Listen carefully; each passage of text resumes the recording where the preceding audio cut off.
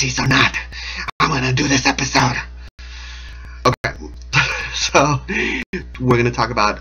We're skipping an episode because I'm gonna upload episode seven later because I have the notes somewhere around here and I'll find them and I'll do it. But we're gonna talk about episode eight, the long-awaited episode that everybody has been wanting to hear about, which is the Dinobot episode because everybody loves the Dinobots. Um, just a couple notes. Uh, did it was it me or was the did the red guy just sound like Shockwave?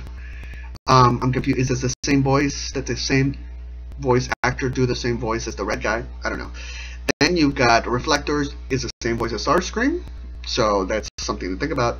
Then Spike. Oh yeah, so they they, they go inside the cave. They hear these tremors and they find the dino dinosaur uh, bones. Then they're like, "What are dinosaurs?"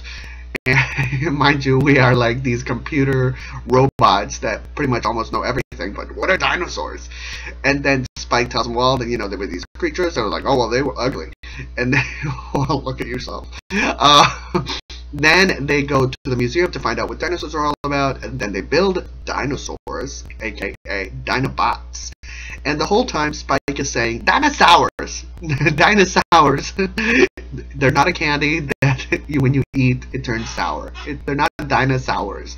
And mind you, why hasn't anybody made that candy called dinosaurs? eat the dinosaurs! Um, so I bet you somebody will now.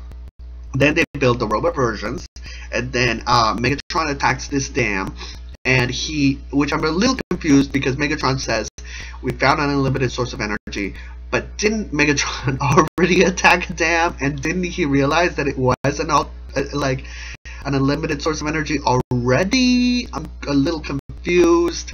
Megatron is having a lapse of memory. Who knows? Then they build the Dinobots called Grimlock, Slag, and Sludge. Mind you, there's two other ones later introduced. And then I will talk about uh, the factor that there's there's five of them. There's later, and you realize why did they combine together? Why did in any in any of the reincarnation of the Transformers did they not make one giant Dinobot called Super Laura? I don't know. Um, so then you've got uh, the Dinobots get crazy because they have like Dinobot brains. Uh, they have dinosaur brains.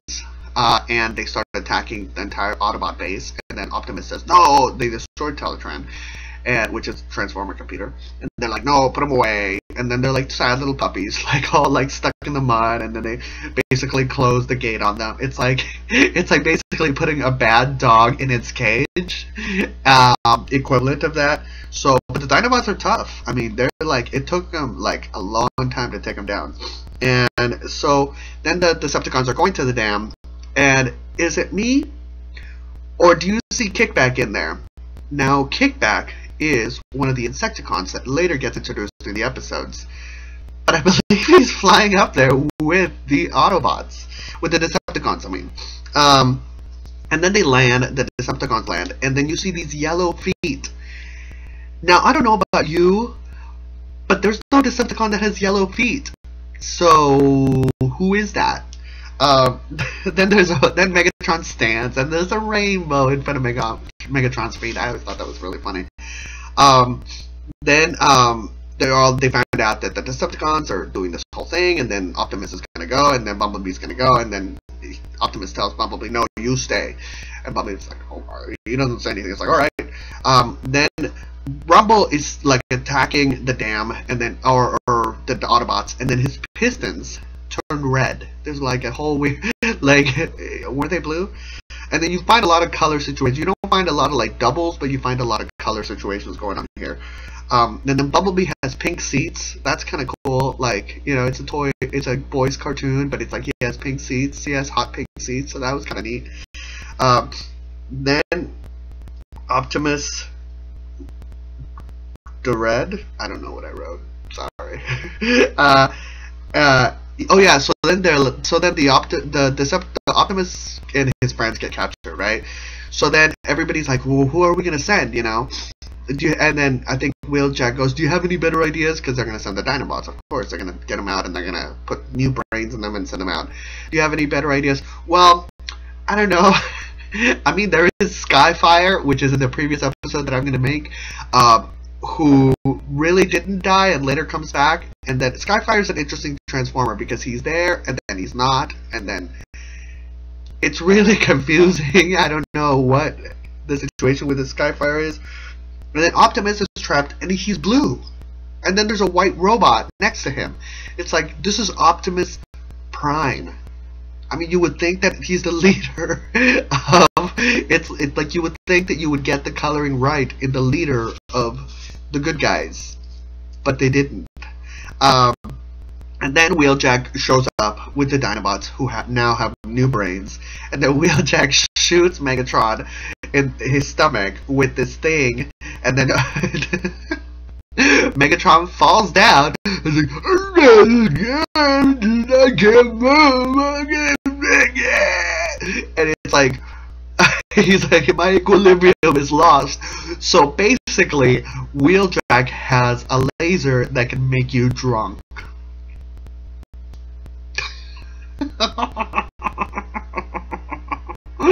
I thought that was hilarious.